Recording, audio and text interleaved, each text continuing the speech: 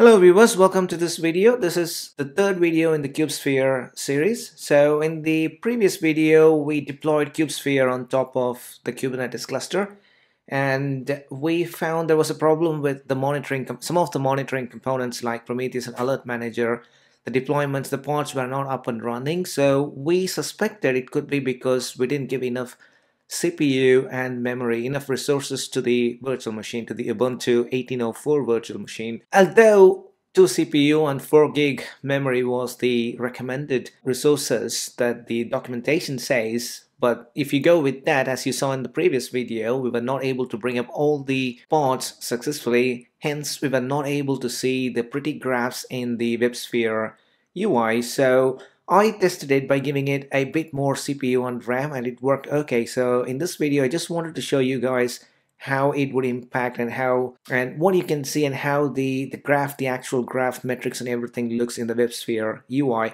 so if you haven't watched my previous two videos I would suggest you to watch those videos because this is more of a follow-up video to my previous video okay so I've got the same Vagrant file as before in the last two videos. If I edit the Vagrant file, so as usual, I've got a couple of uh, provider blocks, one for libvirt and one for VirtualBox. So what I'm going to do here is I'm going to change the number of CPUs to 4.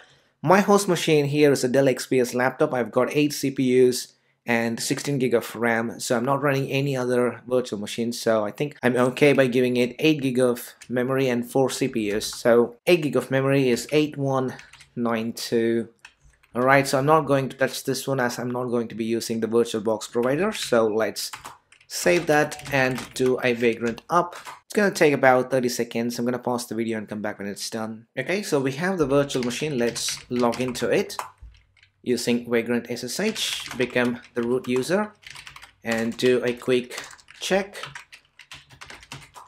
Yeah it's Ubuntu 1804 it's got 8 gig of memory and 4 CPU.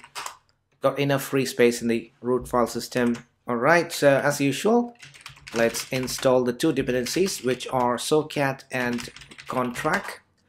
Let's quickly look at the documentation. So we've been following this documentation here, all-in-one installation on Linux and version 3.3, where is it? Yeah, docs version 3.3, all-in-one installation on Linux so I've covered all these in the last two videos so I won't be going through all those things again. So now we are going to download the KubeKey.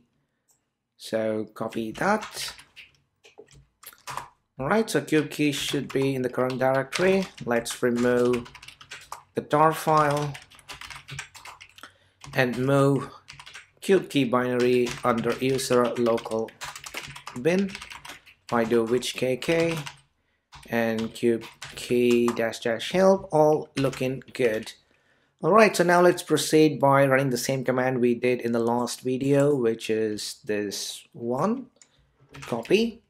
Paste. I'm not going to specify the version of the KubeSphere. If you leave that out it's going to use the latest version. And as in the last video we will be using 1.24.0 Kubernetes version and Docker container runtime is not supported. I haven't installed any container runtime on my virtual machine, so I'm going to rely on KubeKey to install a container runtime for us. So I need to specify a container runtime other than Docker. If you think about container runtimes other than Docker, the, the most uh, popular ones are Containerd, CRI-O, things like that. So let's use so you need to pass the option minus minus container manager and I'm going to be using containerd in this example. Right, all looks good. Waiting for the confirmation. Yes.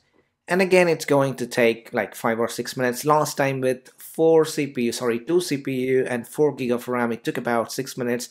Let's see how much, um, how long it takes this time, given we've doubled the amount of CPU and the amount of memory. So I'm going to pause the video now and come back when it's done. Alright, the command completed and this time it took little over 5 minutes. Last time with 2 CPU and 4 gig of memory took about 6 minutes and now it's just 1 minute reduction so now it has to taken slightly over 5 minutes. But anyways, let's check if everything is okay. Let's log in to the web console.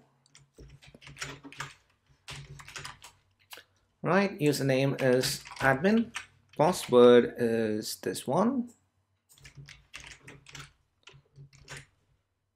Right, let's change our password. Right, so here's our cluster and before we check our cluster, let's see if all the pods are running fine. kubectl cluster info, kubectl get nodes, yes, one node which is ready and we're running version 1.24.0 Kubernetes, kubectl get pods dash a lovely. And you can see all the pods are running all the deployments are looking healthy no restarts. Okay let's go over to the uh, the web uh, UI right so going into the cluster already I can see some changes here. Last time when we visited the KubeSphere web UI we couldn't see all these metrics graphs nice graphs and things. So now I can see the CPU usages and the graphs for CPU memory utilization number of pods disk and everything so which means our Prometheus and alert managers are actually working fine. Okay, let's go to the system components and you can see here in the monitoring we have 10 components. All of them are healthy. Last time it was four of these components were not healthy. So if I go to the monitoring, so Prometheus, Alert Manager, Prometheus Operator, and Prometheus Gatus, all of them are looking healthy. So I can go to the nodes now, cluster nodes. We have one node. If I click on that node, we can see all these stats now. Previously we were not able to see all these uh, percentages all these utilization graphs. Okay so I can see some graphs here. And if I look in the pods you can also see this graph here the CPU utilization and the memory utilization for the individual pods. And if I go to the monitoring section here, cool graphs, CPU usage, percentage, average CPU load, memory usage, disk usage, inode usage, IOPS, disk throughput, network traffic, and all the usual things that you want to be monitoring at the node level. And you can select the time range you want to see the graphs. Okay, cool, all looking good. And if I go to monitoring and alerting cluster status, again, we can see some nice graphs here. API server request latency, API server request rate, scheduler, scheduling rate, CPU core, memory, disk, and pods. So we have 24 pods running in our cluster at the moment. One node is online.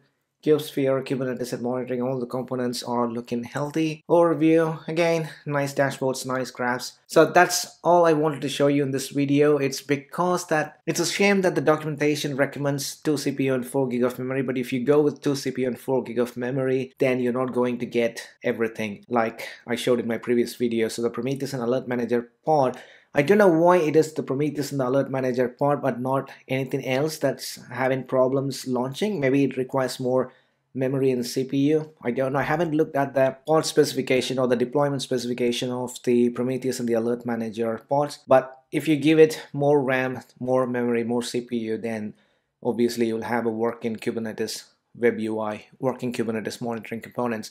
So this is just a, a quick way to test or explore the KubeSphere. Ideally, you wouldn't, in, in a production scenario, you wouldn't deploy KubeSphere in this way. So you'll be deploying that in a highly available fashion uh, with more worker nodes. You'll be sharing the pods and the deployments across multiple worker nodes. But in our case, we've been using the all-in-one installation method in one single virtual machine. All right, so hopefully this has given you some information about KubeSphere to get started with and I will continue exploring additional concepts in KubeSphere and come up with more videos in the coming weeks.